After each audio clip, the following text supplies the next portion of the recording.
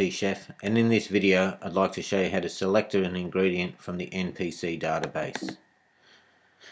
IT Chef contains the NPC database with over 2,500 ingredients. To select an ingredient you scroll through the list and you find the ingredient that most closely represents what you're after. In this instance we're looking for olive oil and we're looking for olive oil that is pure. Here we go, olive oil pure. We put in the supplier. We can put in a brand if we like, the department, the category, which is dry goods, the group, which is oils. Here we have when buying and when using. When we buy our olive oil, we buy it in by the bottle.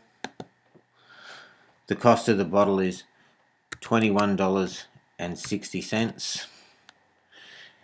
In the bottle, we have 750 mils.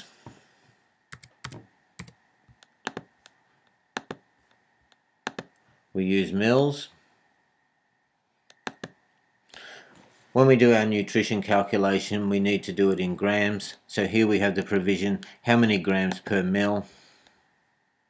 In this instance, we're going to say that there's one gram per mil. You can see here the total stock value now here we have the actual stock when using, which is the stock on hand as well. We're going to say that we've got 5,000 mils in stock.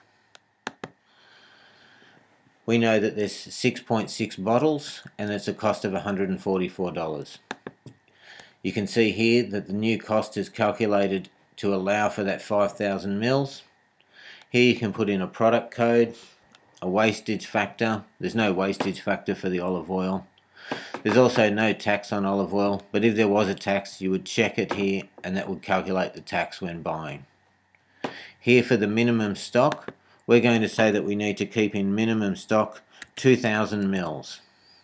And our maximum stock is going to be 10,000 mils.